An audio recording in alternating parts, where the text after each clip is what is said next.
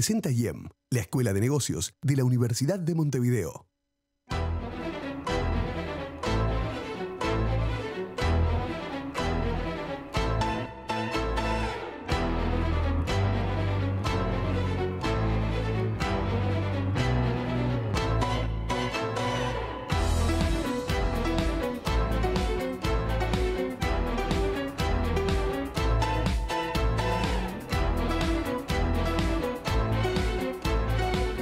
¿Qué tal? Muy buenas noches, bienvenidos a un nuevo programa de claves económicas por NSTV, el canal de Nuevo Siglo. Esta noche vamos a estar repasando algunos datos de la economía que muestra algunos indicios de mejora, que genera mejores expectativas, fundamentalmente para el año que viene, 2017. Y vamos a estar también hablando sobre dos sectores, para eso tenemos dos invitados, dos sectores muy importantes de la economía, los agronegocios y el sector inmobiliario. Estos son los contenidos de claves económicas. Hoy en Claves Económicas, el mercado inmobiliario, el valor de la vivienda, qué esperar de los precios, los planes de vivienda social, los ajustes y las expectativas de los promotores, ¿sigue siendo una opción de negocio? Además, el mercado agropecuario, los acuerdos internacionales y los impactos en el sector, cómo puede repercutir un TLC con China, el panorama del sector agropecuario y las perspectivas. Hoy en Claves Económicas, por NSTV, el canal de Nuevo Siglo.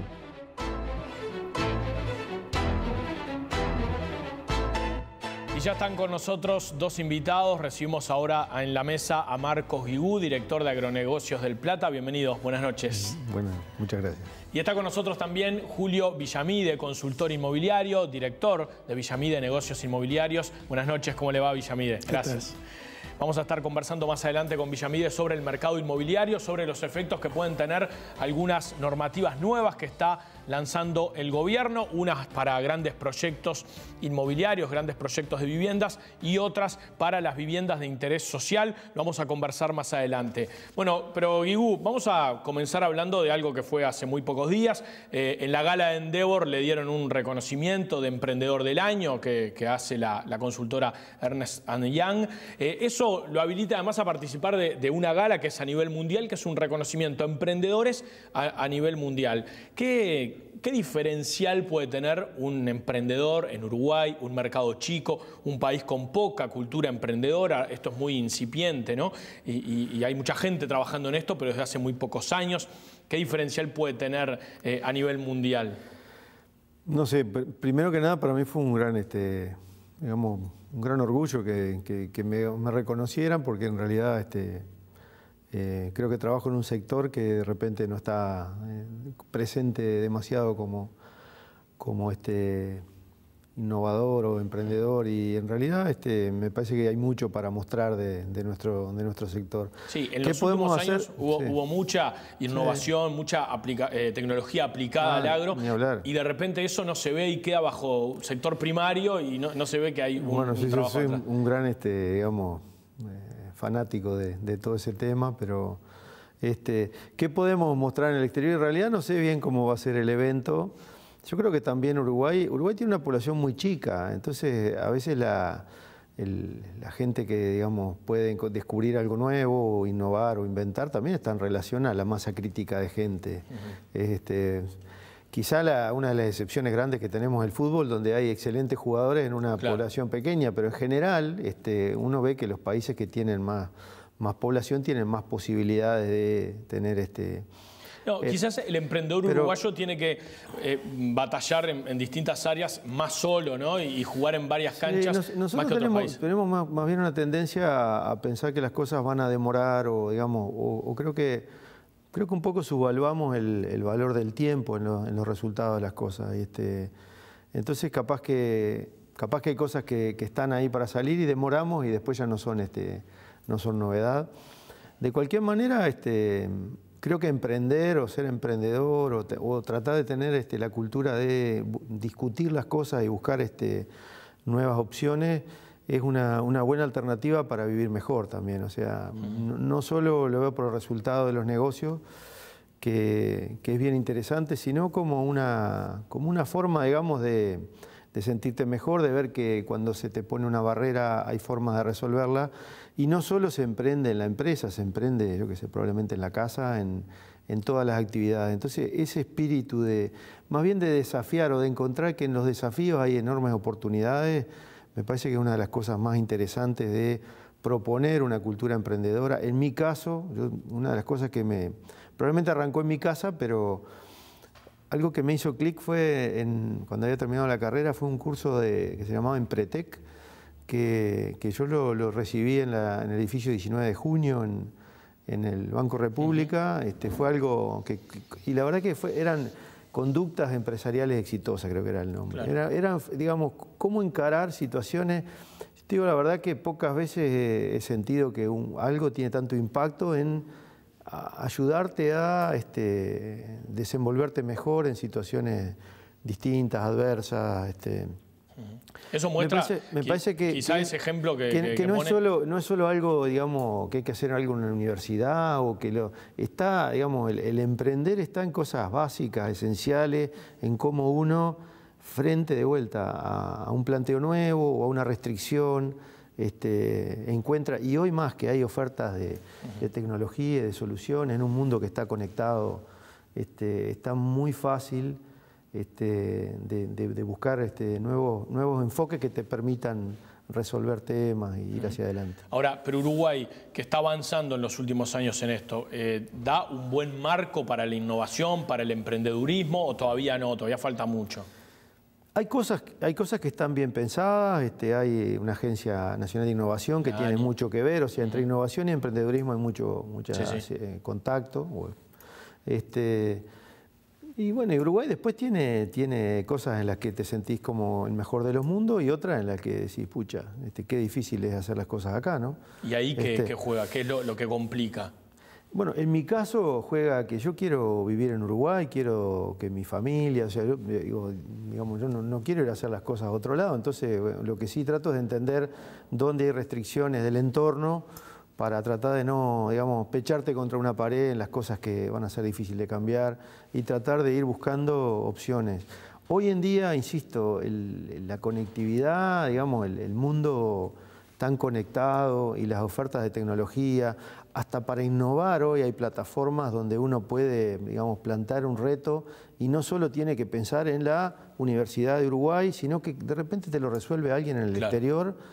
O sea, hoy, hoy digamos, las oportunidades que hay en ese sentido son enormes. A pesar de estar este, a veces un poco eh, enmarcados en, en un país relativamente pequeño en cuanto a cantidad de gente, en cuanto a potencial económico.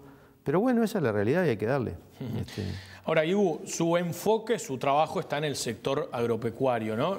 Hace un rato decíamos, eh, un sector primario, pero cada vez con más innovación, con más tecnología aplicada a la producción. ¿Cómo describe el actual momento del sector? Estamos casi terminando el 2016. ¿Cómo, cómo ha sido este año? Y bueno, la sensación térmica es, digamos, es complicada porque digamos, venimos de, nosotros veníamos de una etapa donde los precios digamos, eran muy buenos, históricamente estábamos en un ciclo de precios muy bueno y hace dos años, tres años, según los productos, tuvimos una baja en general en casi todos los productos agropecuarios de, por lo menos 30-40%. Cuando te pasa eso es muy difícil por más diseño, análisis de riesgo, eventualidades que hayas este, diseñado que no te pegue. Y creo que es lo que le ha pasado. El sector ha, sentido digamos, una caída enorme de su ingreso y ha tenido que reacomodar los costos.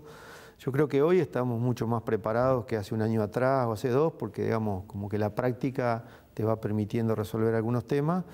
También es una realidad que es un sector que en cierta medida está más chico, se exporta menos, se produce en mi negocio central, que es la agricultura, en varios productos el área ha bajado mucho, en el caso de todo. ¿En soja, por ejemplo? No, no tanto en soja, no tanto en soja, porque la soja ha mantenido dentro de todo, si bien los precios cayeron mucho, ha mantenido una, eh, digamos, un producto que tiene una demanda global gigantesca, que tiene precios futuros, que tiene una serie de cosas que le han hecho, digamos, realmente diferente. Ahora, no hay, en trigo, por ejemplo, a ver, usted me decía el trigo. En trigo, en sorgo, en maíz, que son productos de menos valor por tonelada, ahí es donde las cosas se resienten más. ¿Por qué? Porque transportar un producto de menos valor por tonelada tiene un componente de transporte, un componente de costos internos mucho mayor. Claro. Entonces hay muchas cosas que podemos hacer de, digamos, porteras adentro, dentro de los establecimientos, muy eficientes, pero cuando salimos y entramos a, digamos, a mover esos productos a eh,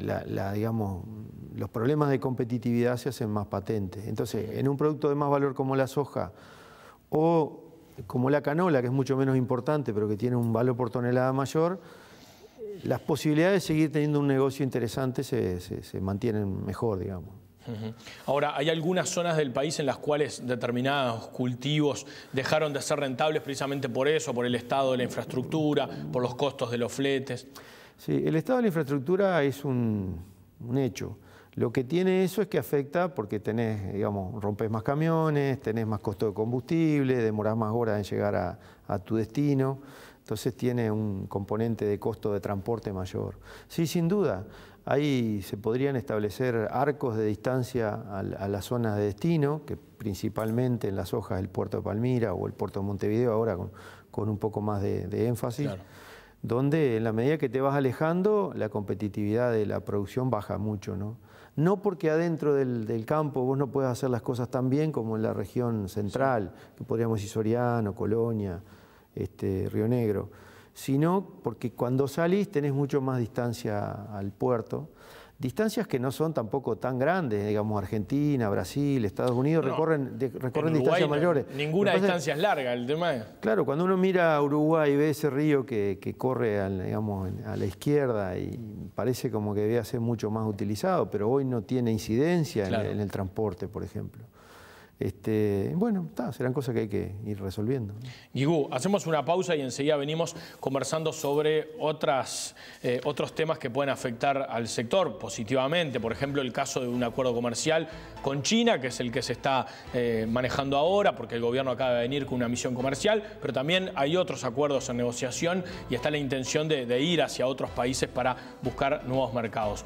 Enseguida seguimos con más enclaves económicas por NSTV, el canal de Nuevo Siglo.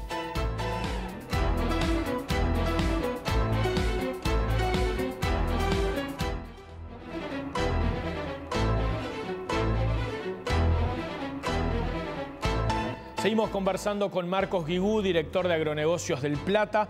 Eh, ¿Cómo toma esta posibilidad de negociar acuerdos de libre comercio? ¿Qué impacto cree que tendría un tratado de libre comercio con China, ampliar la corriente comercial entre ambos países? Yo personalmente lo tomo como positivo. A mí me parece que, bueno, como decía antes, me parece que los desafíos son oportunidades y, este, a veces, este, digamos, el sentirte un poquito eh, movilizado por algo que tiene riesgos, este, te, te, obliga a ser mejor. ¿Qué riesgos este, tiene?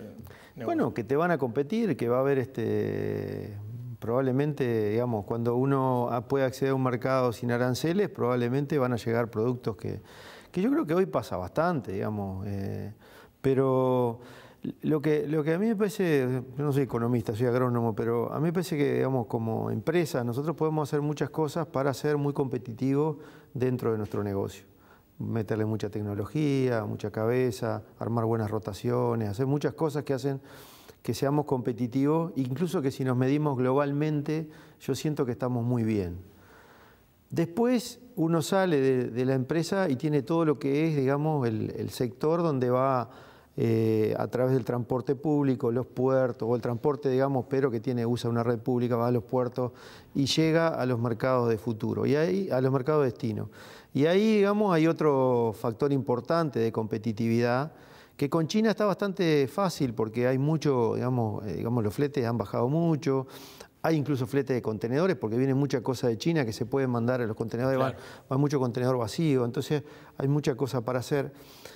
Y después está cuando llegaste a la frontera del país que te, que te va a comprar, si te aplica aranceles y de qué tamaño, y si se los aplica a todo el mundo, bárbaro, porque todos van a estar en la misma, y lo que van a cuidar es el mercado interno, pero si empieza a dividir mucho y a competidores tuyos, en los que sos bueno en la, en la etapa de producción, o suponete que seas bueno en la etapa de producción y de transporte, pero llegaste y ellos están con cero arancel y vos con 20, eso es muy difícil de resolver en el negocio, digamos, productivo hacia atrás. Y esto al sector agropecuario, a Uruguay le está pasando con Nueva, Zelanda. China necesita, necesita soja, necesita carne, necesita eh, animales, digamos, vacunos vivos, necesita pesca, necesita eh, semillas. Eh, todas las cosas que nosotros podemos producir. Entonces, yo veo que, que está bien interesante poder ser un proveedor fuerte, aunque nunca nosotros vamos a ser grandes relativamente con relación a la población de ellos, pero sí ser un proveedor fuerte. Y de hecho, Uruguay arrancó ese camino, yo no sé cuánto hace, pero yo era, estaba arrancando o estaba en el liceo cuando digamos, rompimos con Taiwán y se empezó la... Y en esa época creo que el negocio era la lana, o no sé bien cuál era. Era difícil entender por qué hacer cosas con China. y la verdad que la gente que tomó esas decisiones tenía una capacidad de, proyectar eh, muy, importante, porque digamos, China pasó a ser una realidad, bueno, segunda economía mundial. Este, entonces, bueno, yo pienso que hay, que hay este, seguramente hay que aprender, hay que entrenarse, hay que aprontarse para competir mejor, pero hay buenas oportunidades de generar este tratado de libre comercio. Además uno ve que Australia y, ese, y, ese, Nueva Zelanda, claro. están haciendo, digamos, acuerdos muy fuertes donde los aranceles van a caer, no sé exactamente la. Sí, el progreso de grabación, pero. Y, son mercados rivales de Uruguay, ¿no? Sí, sí. Entonces, bueno, este, eh, me parece que está bueno. Ahora, eh, usted vio esto también en el terreno, porque estuvo en China, ahora, por ejemplo, no formó parte de la misión oficial, pero coincidió algunos días, participó de algunas reuniones. ¿Con qué impresión se viene de ese viaje? No solo de ese viaje, en general me vengo con la impresión de que, de que los otros van rápido, ¿no? De todo, todo, digamos, el mundo no solo, no solo se mueve, digamos, en lo que uno ve en tecnología muy rápido, se mueven los negocios, en cómo ejecuta las cosas. En se concretan cosas, quieren concretar. Se concretan cosas. Yo creo que eso, eso se nota también con China y pienso que también en todas las cosas va a haber un timing justo, que yo no lo conozco, pero que me da la impresión de que, de que también para ellos debe haber un momento donde, bueno, este, digamos, eh, esto sigue siendo una, una, buena, una buena intención, pero cuando se concreta también debe ser algo a mí me da la impresión de que hay mucho interés de concretar cosas, no solo eh, comprar, sino en comprar, invertir. sino en invertir. Este, de vuelta es una impresión muy personal, pero este, cuando uno anda un poco por ese país que es, impresionante eh, lo que crece, lo que se mueve, realmente se da cuenta que si ellos no fueran buenos ejecutando, no podrían tener este, eh, probablemente en 30 años, 25, 30 años, que, decidieron dar un cambio fuerte en su rumbo económico, en integrar mucha gente a, mayor capacidad de consumo. No, no sé, digo, si no pudieran ejecutar, eh, eso es, increíble la cantidad de, obras que hay. Este. Y lo otro que también a mí me llamó la atención es que el, el consumo en realidad, pero me llamó la atención por cosas muy, muy básicas. Eh, en un momento voy a comprar unas nueces para, para, digamos, primero conseguís nueces para comprar, este, que la podés partir y la, no, no en la bolsita, este, pero después quería tirar la cáscara y no había donde, no, había muchos lugares donde tirarla y tampoco había basura en el suelo.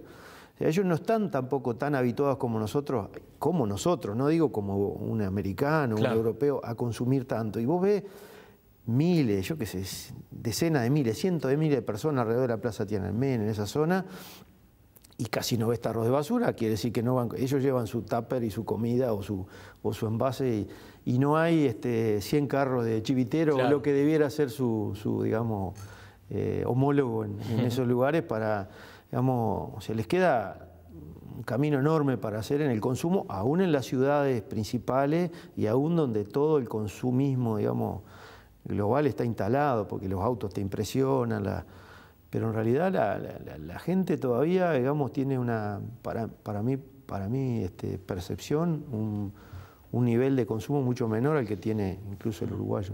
Ahora, entonces en China ve potencial, ¿no? Ve, también otros mercados, por ejemplo, en Asia, eh, Uruguay eh, no ha mirado demasiado a Asia, ahora está enfilando hacia, hacia China. Eh, este gobierno tiene la intención de, ir viendo otros países del sudeste asiático. ¿Le parece que ahí también hay, hay potencial para que Uruguay busque? en el negocio que yo estoy prácticamente toda la producción se exporta. nosotros no tenemos ninguna, o sea, tenemos que tomar, este, ser bueno, después tomar los costos del país, la, estructura que tenés, y después salir y arbitrar con los precios internacionales. No hay vuelta. O sea, nosotros no tenemos, no tenemos productos donde haya un mercado interno que te proteja o te. Nada. ahí los aranceles son clave, Uruguay paga. Claro, para, para nosotros son clave los aranceles y para nosotros competir a nivel global tiene que ser un deber que está en la primera hoja. O sea, y es lo que hacemos.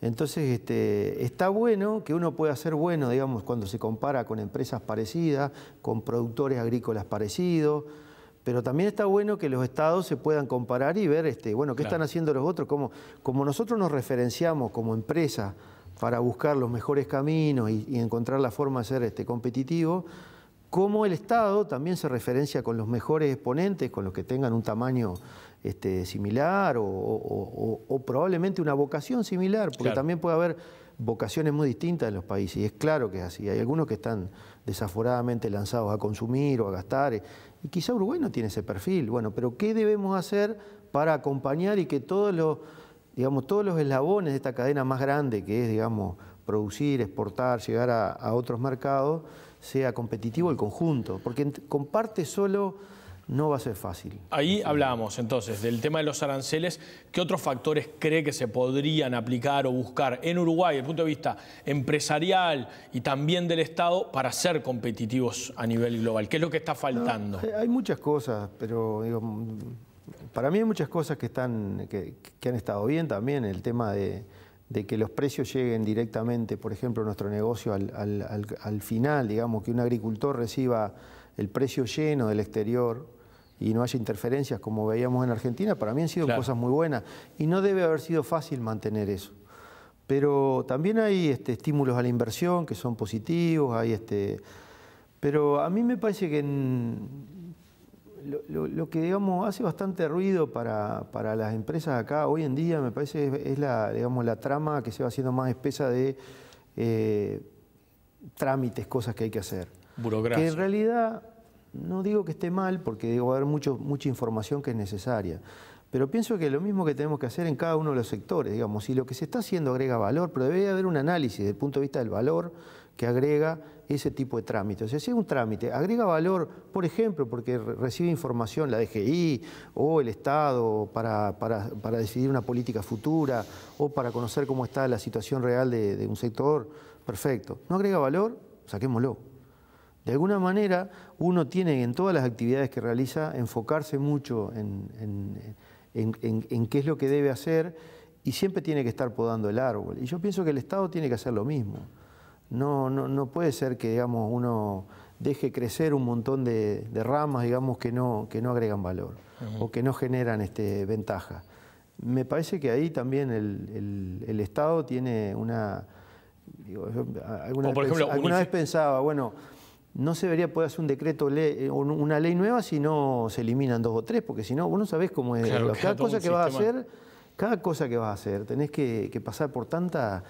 Y de vuelta, si agregan valor, perfecto, pero si no lo hacen, Mm, son, son pesos, digamos... ¿Y unificar trámites le parece que podría? Por supuesto, sí, sí, sí, sí, sí. Me parece que ahí hay un camino bien interesante para trabajar. Y ahí también hay costos, además, en, muchos de los trámites, no más allá del tiempo. En, las empresas, digamos, eh, son enormes, pero yo no, veo que se considere eso como un costo, es digamos, un costo oculto grande. Este, me parece que que hay un tema ahí interesante a resolver que en otros países uno ve que son bastante más livianos de, de, ese tipo de cosas. ¿no? Y Después, sí. No, sé, no podemos salir de la región que estamos, del barrio. tampoco. Este, para cerrar, ¿qué expectativas tiene con el año 2017? ¿Cuáles son los, desafíos que tiene el sector agropecuario? ¿Cuáles son las ventajas y desventajas? ¿Cómo está viendo el escenario para el año que viene? Bueno, yo, pienso que va, como te decía antes, me parece que en, el caso de nuestro sector pasamos por un momento este, muy duro, de una baja abrupta de precios y de tener que reestructurar en todo sentido el negocio. Eso se hizo, me parece que para adelante tenemos un futuro mejor que lo que fue el año pasado. Este, y ojalá que este tipo de cosas que estamos hablando avancen. Yo la verdad que, desearía que, se puedan ejecutar, este, ejecutar cosas como el tratado con China o con algún otro país, o que este con Chile sea una buena opción. Este, la verdad es que eh, me parece que, estar más abiertos al mundo es algo positivo y este, la verdad que veo un, futuro interesante, este, no exento de, mucho trabajo y, digamos, y mucho foco. Me parece que es algo que, todos tenemos que, poner. Igu, muchísimas gracias por haber venido. Gracias. muchas gracias por la invitación y bueno, a la orden. Nosotros seguimos en claves económicas, vamos a hablar del mercado inmobiliario, del impacto que pueden tener algunas medidas que está tomando el gobierno. Lo conversamos en el próximo bloque con Julio Villamide de Villamide Negocios Inmobiliarios, consultor. Ya seguimos.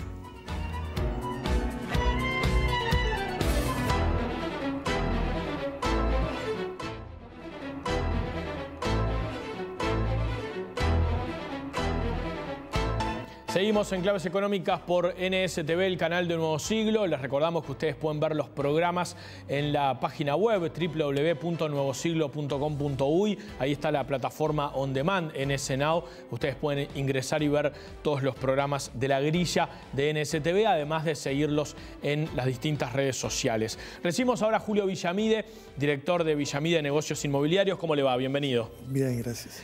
Villamil, el gobierno ha lanzado y está preparando algunas medidas fundamentalmente para estimular la, construcción, pero también para estimular el acceso a la vivienda, fundamentalmente la, vivienda de interés social o, vivienda promovida, como se le va a llamar ahora a partir de un nuevo decreto reglamentario.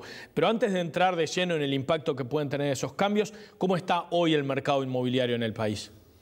El mercado viene de un 2015 y principio de 2016 complicado primer semestre de 2016 en materia de compraventas registradas fue el más bajo desde 2004 en adelante, o sea, el más bajo en 12 años.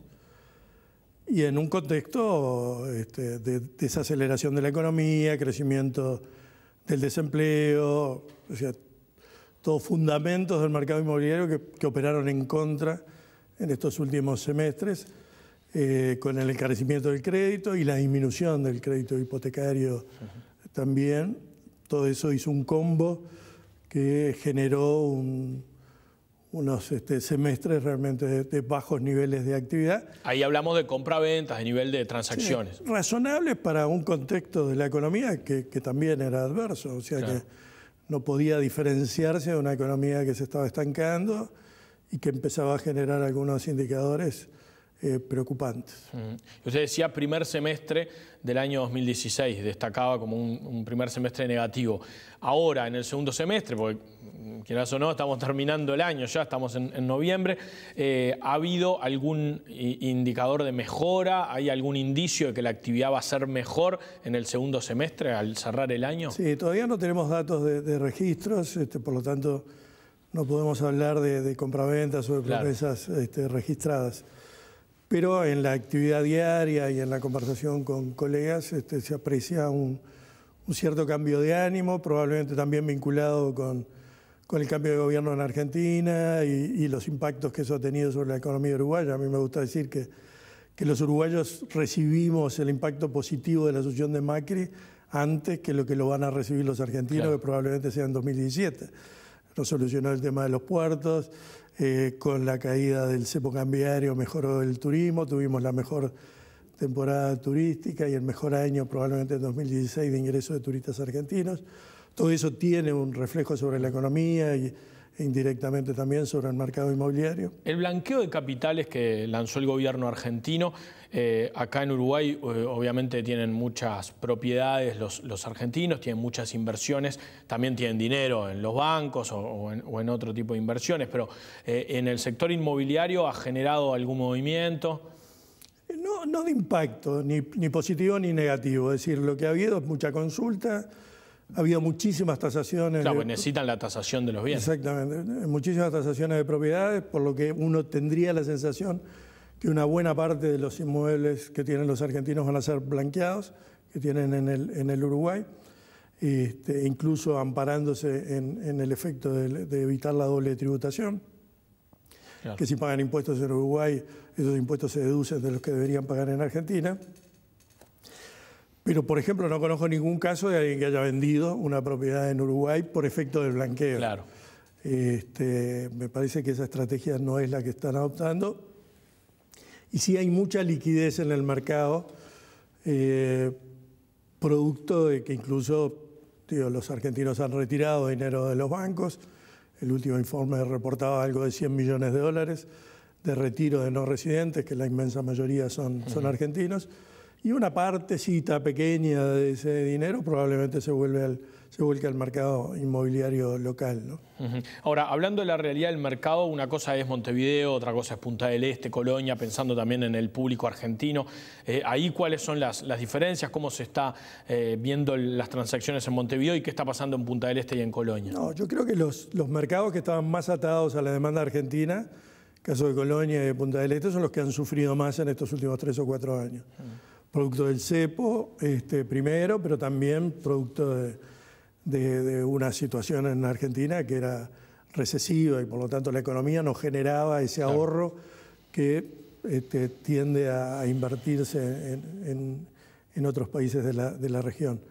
El mercado de Montevideo ha tenido siempre el atractivo de la renta, la rentabilidad que obtienen los argentinos por una inversión inmobiliaria en Montevideo duplica la que obtienen en Buenos Aires y está el, todo el fenómeno de la libre contratación que para ellos también le da mucha garantía y han comprado muchísimas viviendas promovidas este, por la ley 18795 con el beneficio de estar exonerados de impuestos por 10 años, lo que les resulta muy este, atractivo. Viviendas para alquilar, ¿no? Como inversión. Viviendas como inversión para, para alquilar. Yo creo que eso este, ha caído en los últimos semestres producto de esa situación en Argentina, pero también está recuperándose lentamente a partir de que las perspectivas de la economía argentina tienden a ser mejores. ¿Y en Colonia, en Punta del Este, hay proyectos frenados, eh, avanzan? Sí, eh, hay proyectos que no se terminaron de lanzar al mercado porque las condiciones del mercado no eran favorables para, el lanzamiento de, proyectos nuevos. Lo que ha habido es la terminación lenta, pero terminación de los proyectos que estaban en marcha. Punta del Este bajamos de 87 proyectos que teníamos en ejecución en 2011 a, 30 que hay en ejecución más o menos en este momento, o sea, una reducción importante, pero bueno, este, hizo la dieta adecuada, Punta del Este se está saneando, se está liquidando ese stock sin vender y está como preparándose para eventualmente un nuevo ciclo de, de mejora en la economía argentina que son los ciclos de Punta del Este. O sea, Punta del Este es una radiografía de, los ciclos económicos argentinos. Cuando viene la depresión, Punta del Este se, frena y cuando viene una reactivación, Punta del Este se, se reactiva mucho más allá de Montevideo. Villamide, cuando se lanzó la vivienda de interés social hubo un empuje muy fuerte, presentación de muchos proyectos, varios de ellos que todavía están en ejecución, muchos que no se han entregado, obviamente, las, viviendas. Se empezó a construir en algunas zonas donde hacía décadas que no se construía, mirando lo que pasó en Montevideo, ¿no? más bien por fuera de, de la zona costera. Después hubo una retracción. El gobierno del año 2014 lo que hizo fue fijar algunos topes ¿no? para eh, conseguir o buscar algún objetivo de, disminuir los precios. Ahora eso se revisó, está en revisión y el gobierno ya le anunció a los operadores privados que habrá algunos cambios. Y por ejemplo, ¿no? para que el televidente lo, comprenda, los topes que eh, son al 25% de las viviendas hoy, a partir del año que viene en Montevideo serían para el 10% de las viviendas y en el caso del interior hoy es el 100% que está topeado, a partir del año que viene sería el 20% nada más topeado. ¿Eso qué impacto le parece que generaría? ¿Podría volver a dinamizar el mercado de las viviendas de interés social o viviendas promovidas? Sí, yo, creo que sí. Creo que este, son decisiones este, acertadas en el momento adecuado. En un momento en que la inversión en la construcción cayó mucho, se han perdido miles de puestos de trabajo y obviamente se necesita una reactivación y además se necesita producir vivienda formal, porque eh, este, este país crece de 15.000 hogares nuevos todos los años, por lo tanto, alguien tiene que construir esa vivienda, el sector público no está en condiciones de hacerlo, y este fue un instrumento bien idóneo para que el sector privado invirtiera recursos en donde hay una demanda, demanda real. Yo no atribuiría toda la caída que se operó entre 2014 y 2016 al tope de precio del, 25, del 25%. Pero es verdad que eso, eh, por lo menos después en, los hechos se dio... La gota que desbordó el vaso en un contexto más adverso. O sea, en un contexto más adverso, muchos promotores dijeron, bueno, no, esto es una complicación adicional demasiado excesiva. Además me están cambiando las reglas de juego de una ley que era una especie de política de Estado porque había sido votada por todos los partidos políticos y ningún partido político en las últimas elecciones había dicho de modificarla. Este, y entonces yo creo que este, eso, eso operó como, como, una, como un freno a la, a la inversión privada. En estos momentos las condiciones son bien diferentes, es decir, por un lado tenemos una cierta expectativa de reactivación de la economía a partir de 2015, todos los analistas la, están pronosticando.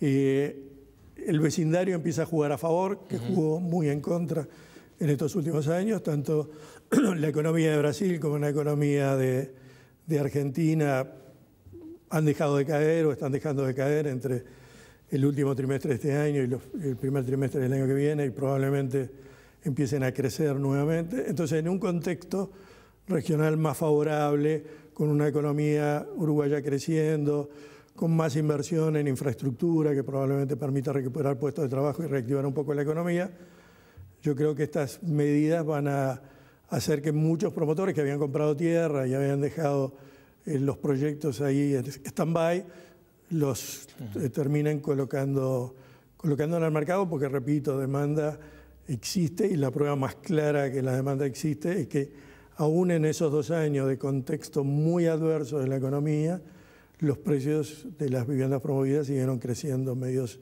en dólares y en unidades indexadas. Villamí, hacemos una pausa y enseguida seguimos conversando sobre estos cambios y sobre otros anuncios que ha hecho el Poder Ejecutivo en materia de inversión para eh, la construcción de viviendas. Ya venimos.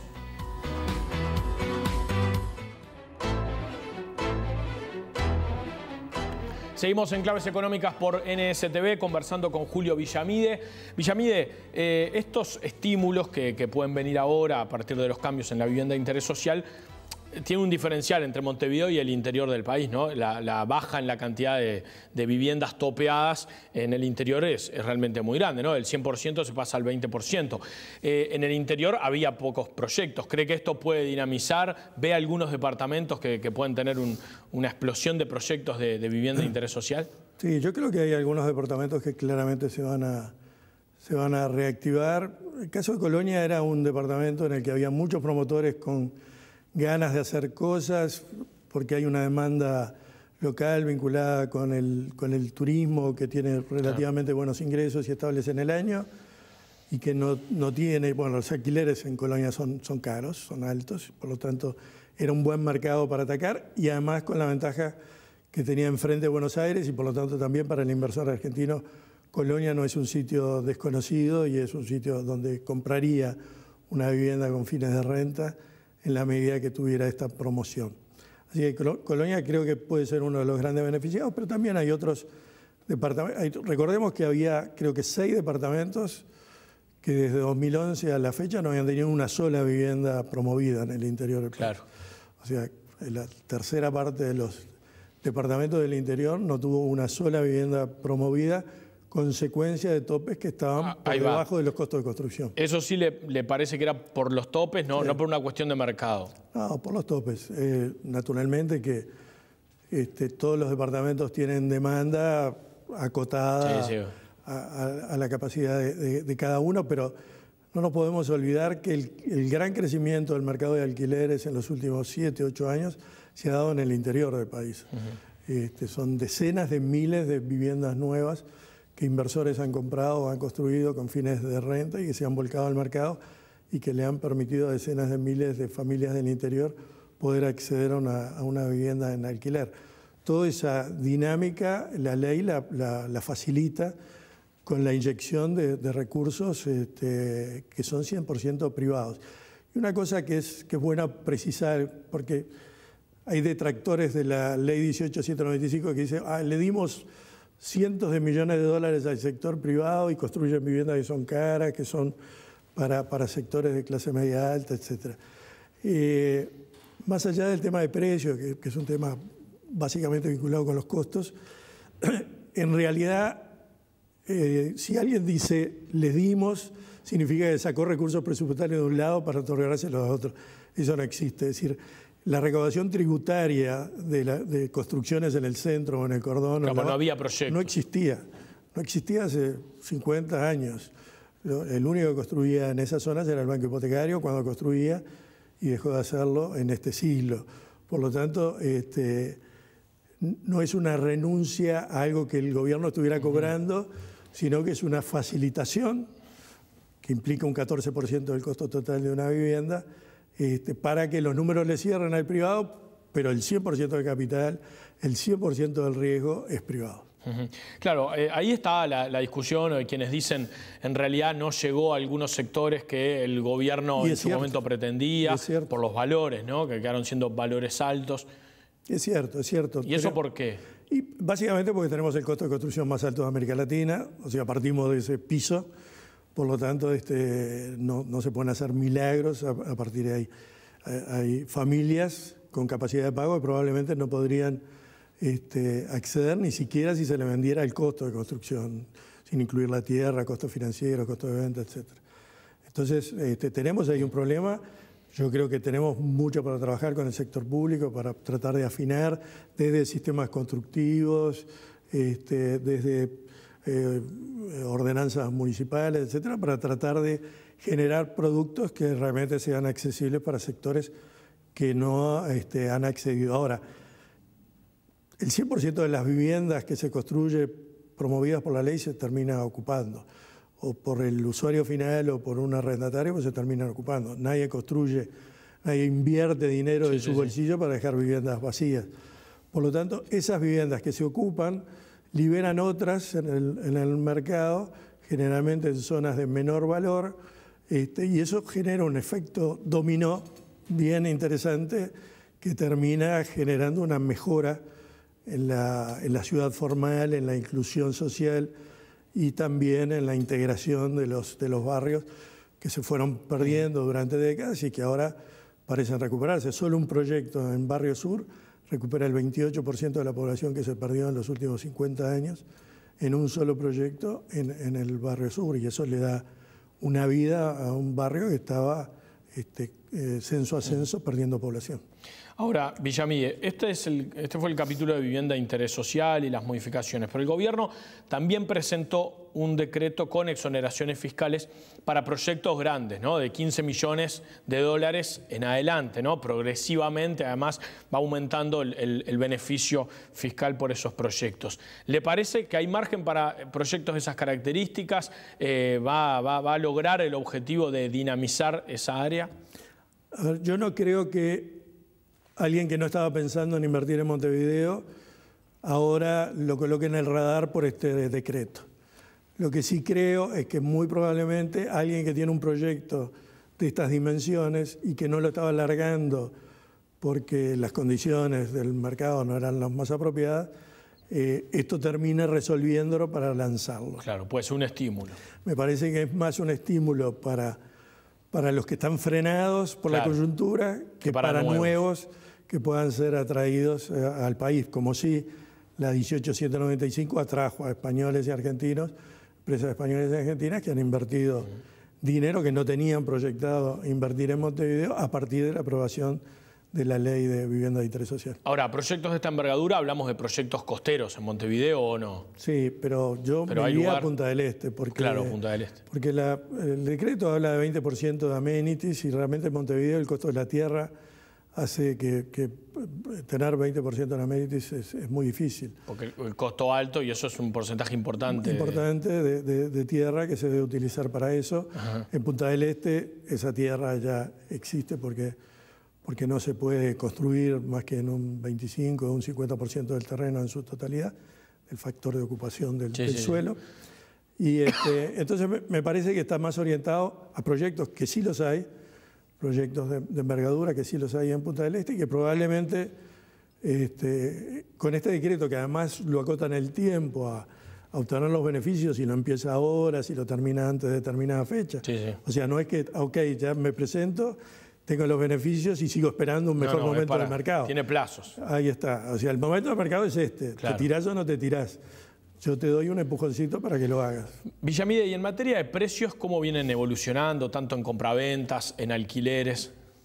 Los precios de alquileres están en una meseta desde hace unos 6, 7 meses, este, con pequeñas bajas de un 1%, eh, pero no, no, no cambió la tendencia. Es decir, cambió la tendencia a la suba, ingresamos en una fase de meseta y dependerá de lo que pase con con la inversión privada, es decir, nosotros estamos agregando entre 700 y 1.000 millones de dólares de viviendas todos los años al mercado de alquileres de todo el país. Esa es la magnitud de la inversión privada en viviendas para alquilar. Si eso se corta, los alquileres van a subir.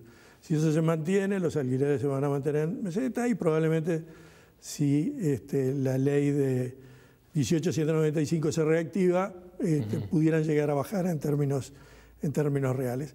Los precios de venta están muy atados al tipo de cambio. Cuando el tipo de cambio subió, cuando el, valor del dólar este, trepó un 10, 15%, los valores en dólares dejaron de subir y habían empezado a bajar medios en dólares corrientes. Ahora, tenemos la situación inversa, el tipo de cambio ha bajado y por lo tanto los precios están otra vez en una meseta y con una tendencia a subir medidos en, dólares. Villamil, lo vi polemizando con, con, el proyecto de ley de un diputado del Partido Comunista para regular el precio de los alquileres. La preocupación que plantea, en este caso, el diputado Gerardo Núñez, es que hay alquileres que, bueno, que, son caros, que se dificulta a la gente que necesita alquilar eh, el acceso y, que bueno, muchas veces no hay relación entre el valor de un alquiler de una zona con un valor de una zona de, eh, más costera, por ejemplo. ¿Cómo ve ese proyecto? ¿Le parece que podría alterar las, la regla del mercado y que eso podría generar el efecto contrario. De, aprobarse el proyecto sería nefasto, sería el fin de todas estas cosas que estamos diciendo, el fin de los inversores, el fin de los mil millones de dólares anuales colocados en el mercado de alquileres. O sea, eso, todo eso se termina. Eh, en el mejor de los casos se podrá retener a los propietarios que ya están en el mercado. La, la evidencia empírica nos muestra que ni siquiera eso, porque de hecho, con la ley del 85, que fue la última ley reguladora del mercado, con el diario del lunes, luego supimos, censos mediante, que la tercera parte de los propietarios que tenían viviendas en alquiler se las llevaron del mercado, generando una suba en los valores que fue exactamente lo contrario a lo que los legisladores de todos los partidos en aquel momento querían, querían lograr. Ahí nacieron los asentamientos irregulares, tal como los conocemos hoy, y la ciudad de la costa para los que tenían la suerte de tener unos padres que tenían una vivienda de veraneo en Lagomar o Solimar, que se transformó en vivienda permanente de los, de los hijos. Eh, yo, eh, yo creo que ese, ese proyecto va en contra de todos los esfuerzos que está haciendo el propio Frente Amplio en el gobierno para atraer inversiones hacia el sector de la vivienda y liberar los escasos recursos públicos para atender a los sectores más vulnerables que el sector privado nunca va a atender. Este, creo que va en contra de eso, creo que va en contra de la evidencia histórica, no solo de, Uruguay, sino del mundo, y además va en, contra, en contra de las propias leyes que se han ido votando, 1974, 1994 y por última vez en 2014, de prórroga por 20 años de, la garantía del Estado para la libre contratación. Es decir, si un proyecto de este llegara a aprobarse, estando vigente hasta 2034 esa, esa este, garantía, obviamente el Estado debería hacer frente a todos los perjuicios que se le ocasionan a los propietarios por la vigencia de esa nueva ley, que además es una ley muy agresiva para, para, el inversor. Por lo tanto, este, yo confío que la bancada del Frente prime la sensatez. Me consta que en el 2009 llegaron a incluir en el programa de gobierno del Frente Amplio que la libre contratación era el mejor sistema para, para los inquilinos. Entonces, este, no creo que eh, se pueda generar un cambio eh, tan importante que aquellos que, estamos preocupados por los inquilinos, que estamos preocupados por atraer inversión para que efectivamente los, haya más oferta de alquileres, la oferta sea más amplia eh, y por lo tanto los precios no suban o, se, estabilicen y lograr un mercado equilibrado como hemos logrado, todo ese esfuerzo este, se va por la borda con una con una medida como, como la propuesta. Por lo tanto, espero que, que, no se, que no se apruebe. Una media sanción ya generaría un conflicto enorme. Si hay una media sanción, vamos a suponer que 20% de los que están invirtiendo en vivienda alquiler deje de hacerlo. Eso significaría que tendría el Estado que poner 200 millones de dólares. Eso es duplicar la inversión de todo el Estado en viviendas de un año. Esa es la magnitud del impacto negativo que generaría. Villamilla, muchísimas gracias por haber estado con nosotros. Gracias. gracias. Nosotros seguimos en claves económicas. Antes de irnos vamos a repasar varios datos que se conocieron en los últimos días de la marcha de la economía.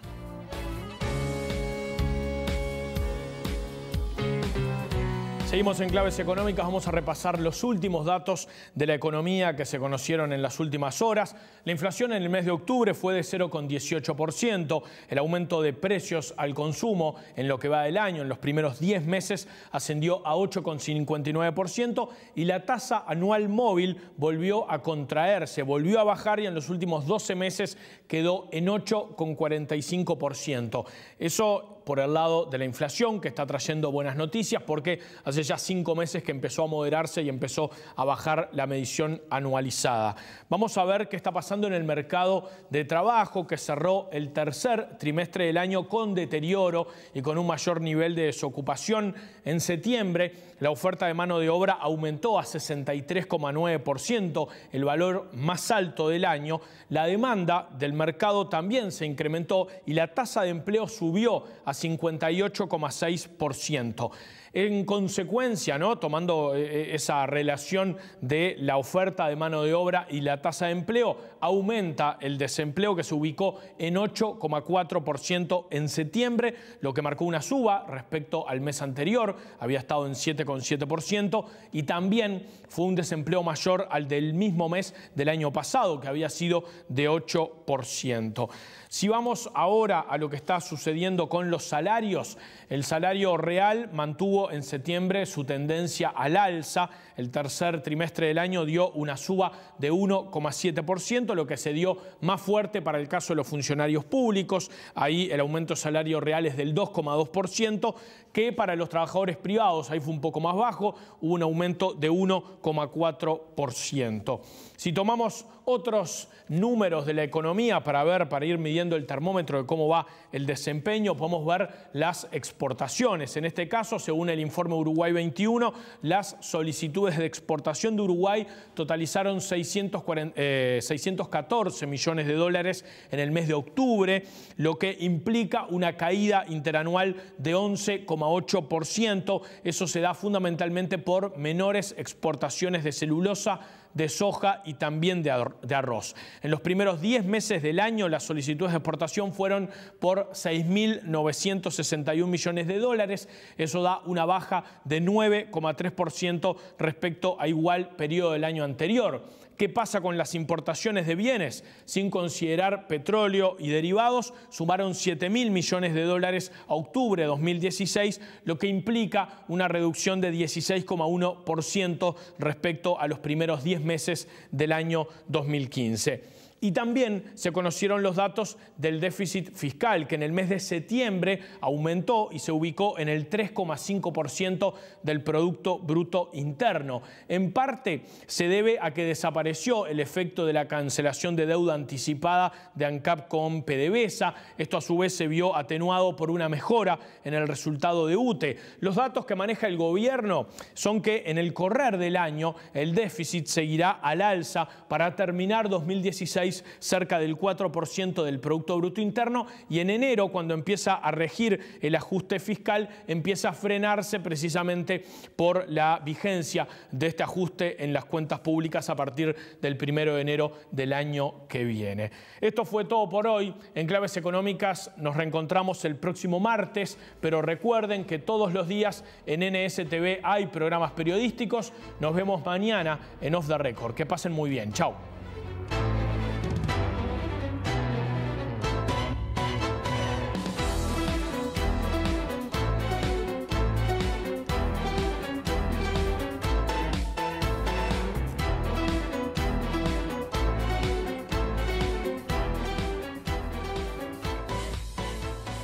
Presentó IEM, la Escuela de Negocios de la Universidad de Montevideo.